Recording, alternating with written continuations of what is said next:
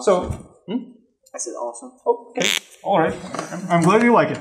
So, uh, well, but we do have two examples in mind, right? So, what are the numbers for those examples? So, for the dot product, All those T's would be. Let me think. The first so what, what's the dot product of i with i? was it one i dot i is 1. All right. i dot j is zero 0. j dot i zero 0 and j dot j 1. All right. So these are the numbers. And well, you know, when you have four numbers, there are different ways to put them together. And one of the ways is to make a matrix and to put C11, C12, C21, C22. At this point, we won't be able to see the difference between four numbers sitting in a square matrix or four numbers sitting in a row or in a column. It Doesn't really matter. But for from linear algebra point of view that you took or maybe didn't take, uh, this makes a little difference. And uh, usually, this product, I mean, these four numbers will be put together as a matrix. And then, once you make a matrix, the dot product corresponds to the matrix 1, 0, 0, 1 the identity. identity. Yes, anybody taking or who took linear algebra recognizes the identity matrix, which is the simplest matrix possible. Well, except the zero matrix, right? But zero matrix results in very simple product. Any two things multiply to zero. Not highly useful. Now, let's uh, look at the area. So why don't we go ahead and figure out what the matrix is. What's the area product of i and i? Zero. What about i and j?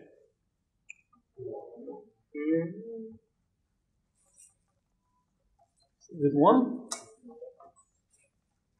All right. What about j and i?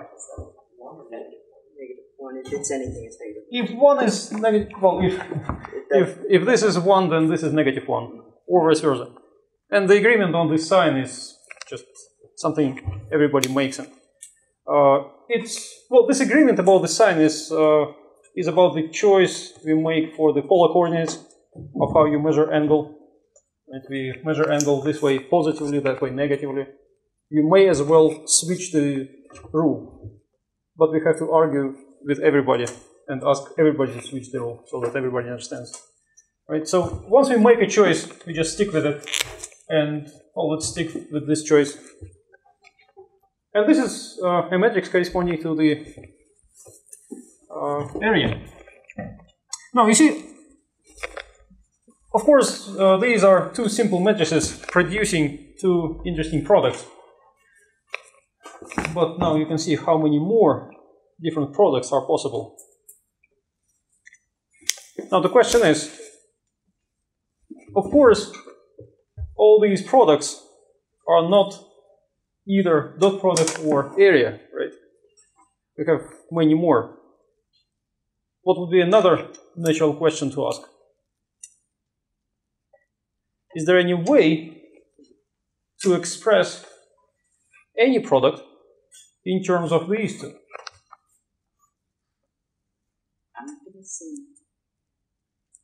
Because you see, you can multiply possibly this matrix by one number. And if you multiply the whole matrix by a number, it will still be, it will still generate a product. So if you multiply it by 2, the resulting product will be just twice as large as dot product. So in some sense, it will resemble all the properties of dot product, except being twice as large. If you multiply area product by a half, the result will be just a half of the area, and you can still visualize what it means. So it keeps all those nice properties of the area. Now, can you get any matrix like this as a combination?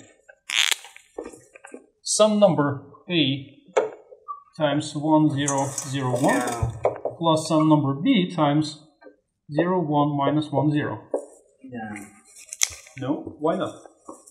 Uh, What if you wanted uh, that? yeah, because if you Point put that those point, numbers different, same sign. it's just a, So if you, you know, the, the way to to assemble this in one matrix is to have A A and then B minus B.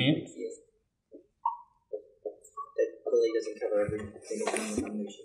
And of course, this is not doesn't look like arbitrary matrix. It has two ide- well, two entries on diagonal are the same. Two entries on anti-diagonal are opposite. So if you have something different, that cannot be expressed as combination. And again, we are stepping in some linear algebra here. So what we have is we have a linear space of all possible matrices. In other words, in our context, it is space of all possible products. We chose two examples, and we like those examples, and we ask, is it possible, well, is it true that that space is basically formed by these two matrices by taking linear combinations? In other words, are these two matrices making a basis of that linear space, and they're not.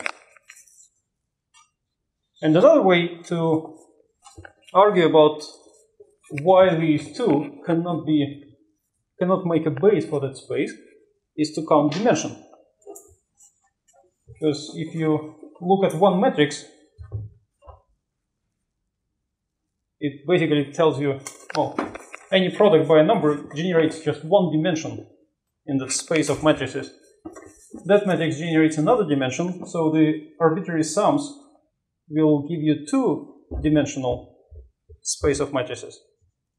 So there are, algebraically speaking, you have two different parameters to play with. But a general, uh, a general product has four parameters. So you can think of this as four-dimensional space. And you can only generate two-dimensional space out of those two matrices. So you cannot possibly describe a four-dimensional space by a two-dimensional space. So what should be done? Two more. Find two more. So we have four-dimensional space of all the matrices, and we have in that space two vectors. Let's call this capital I, because that's the standard notation in linear algebra. Let's call that capital J. So we have this vector capital I, capital J. We need two more.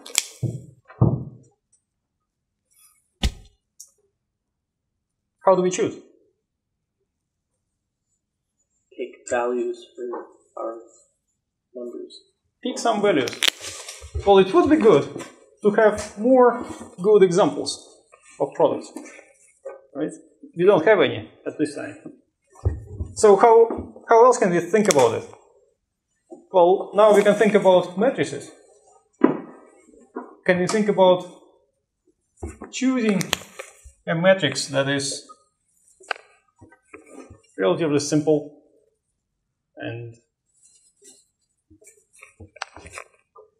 will not be in that two-dimensional space of i and j. Will stick out of that plane. Will not be a combination of these two matrices. One, two, three, four. One, two, three, four. Like one, two, three, Yeah. Okay. Why do you think this matrix is not a combination of those two? Because the the top and because Oh, because one the- one and two two are two different numbers. Yes, exactly. So, uh, because you see, diagonal entries are different here, the anti-diagonal entries are not opposites of each other. So this matrix is definitely out of this plane.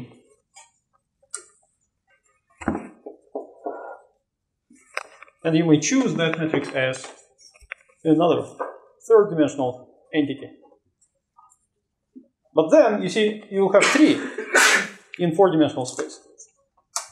You need one more.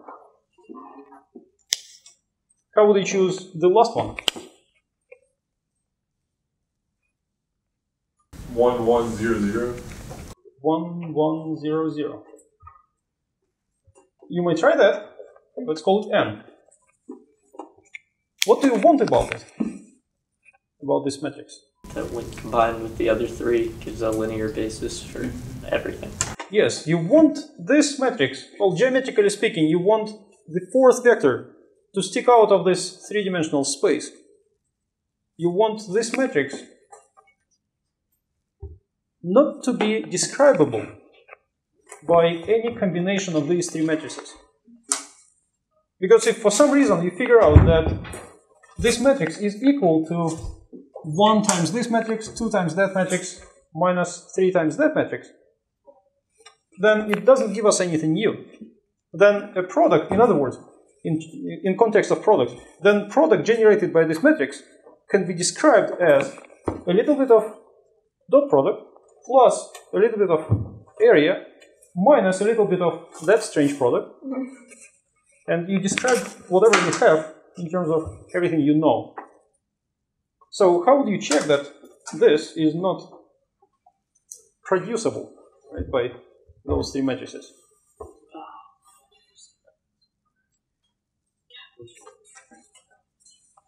So let me suggest the choices.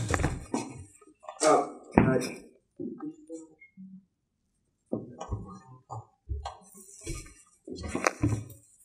So well, let's keep calling this M and that N.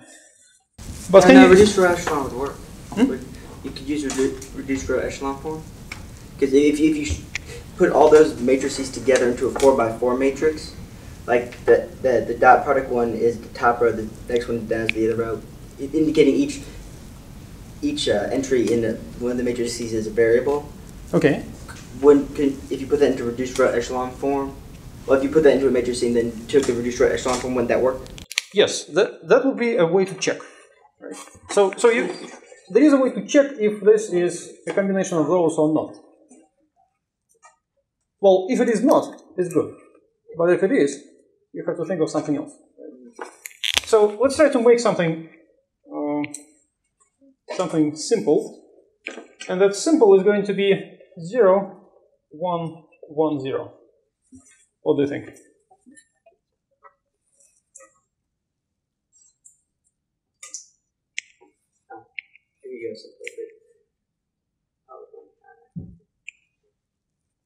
So this matrix has same entries on, and, And then if you want, Can- can- can you guess about- there.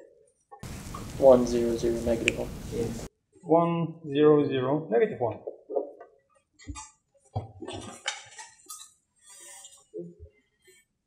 Well, you see, the the beauty of this this choice is that we immediately know that this matrix cannot be expressed as combination of these three. Right? Why is that? Because the feature of this matrix is that the entries on diagonal are opposite of each other. Right? Can you make those entries opposite using any of these three matrices? No. That's it. So what's the so let's let's emphasize the uh, basis. well the reason for success. Well, the reason is, if you think about it, is that for each of these two matrices and for those two, we have just identified the feature that each matrix carries and all the others don't. Well, we identified that feature based on these numeric values of a matrix. So the feature of this matrix is that entries are opposite on the on the diagonal. The feature of this one is that the anti-diagonal has the same values, and none of these produce produces that. So when you figure out something new, you better have some features to make those things special.